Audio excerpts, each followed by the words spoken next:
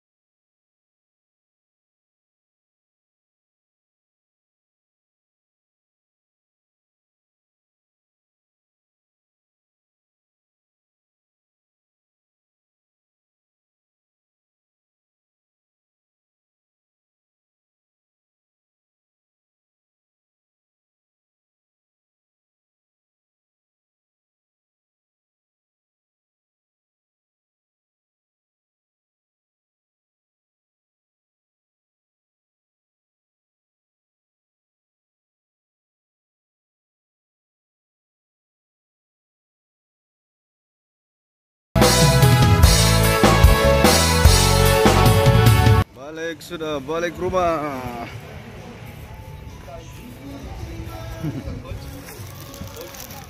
Bye